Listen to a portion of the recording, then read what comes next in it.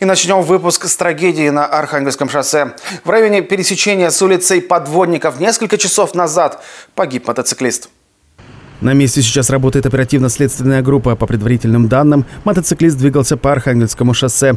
Водитель на Субару с Архангельского шоссе поворачивал налево. По словам очевидцев, в этот момент горел зеленый сигнал светофора, а мотоциклист пытался уйти от столкновения.